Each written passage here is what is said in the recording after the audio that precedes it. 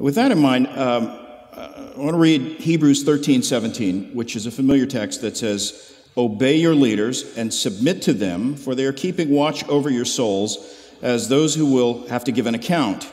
Let them do this with joy and not with groaning, for that would be of no advantage to you. So there's a command there to be obedient to the leaders of the church. And yet we know that there are churches where leaders are abusive and uh, uh, take advantage of, of what they think is God given authority and actually abuse the sheep. What are the biblical parameters for this? That opens up a, a wide discussion. Uh, first, I need to say this, and this is the bottom line no preacher, by virtue of his calling, has any authority. I possess absolutely no authority by virtue of my calling over anybody, anytime. I don't have a right to rule people. I don't have a right to rule the leadership of the church. I don't have any right to make decisions about everything. The only authority that I possess, it's not academic because I'm better trained. It's not because of my calling to preach and teach. It's not because I'm called the senior pastor. The only authority I have at all in the church is the delegated authority that comes through the Word of God. The only time I can ever speak authoritatively about anything is when I speak the Word of God. Um, I don't have authority to say, you become this, you this, you go over here, you do this, paint this room green, buy this property, whatever. And I've never, I've never exercised authority in those ways. I don't have authority over people's lives. God has authority over the life of His church. That authority is basically from His Word and by His Spirit. I'm simply the instrument to tell people what the Word says and what it means. So that is the only authority that I have. When a pastor gets beyond biblical authority, he has abused his position. Um, to tell people how to live, what to do, who to marry, to control their lives, to dominate their lives, tell them how much money to give. Uh, that, that, is, that is an abuse of the, the role of the pastor who is merely a shepherd with delegate authority under the great shepherd, the Lord Jesus Christ. Secondly, the application of Hebrews 13, 17 applies to those who are faithful. If you go back to the book of Jeremiah, even God excoriated the shepherds who, who misled Israel, right? False shepherds, false prophets. And, and all through Scripture, everybody has been warned. In every generation of, of history, uh, in the revelation of God, there has always been a warning about false teachers, false shepherds.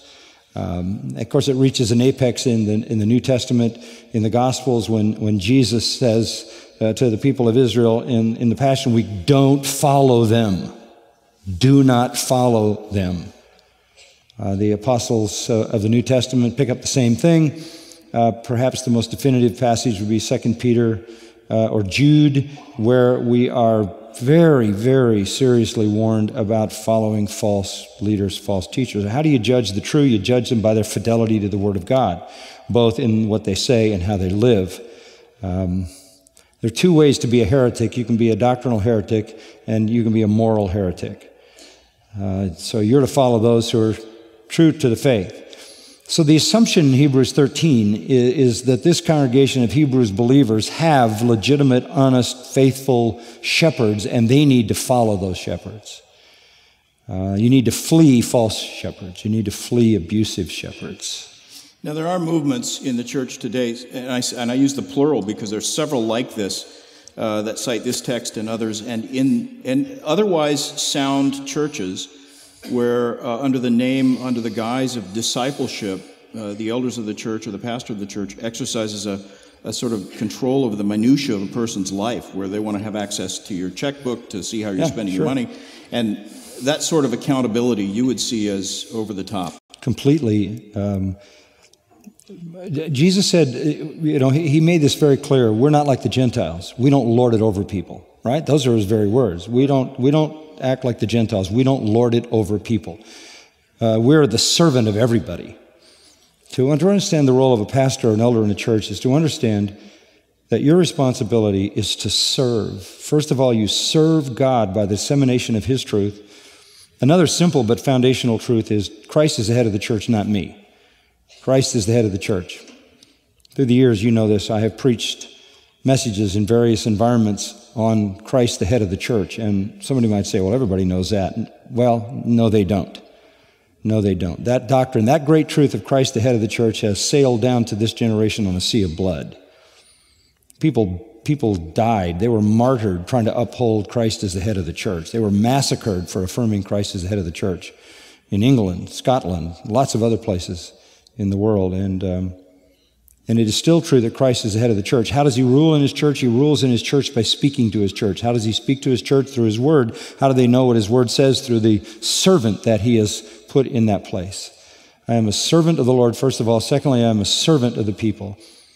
Um, I don't find anything in the scripture with regard to lording it over people except serious warnings, very serious warnings against that.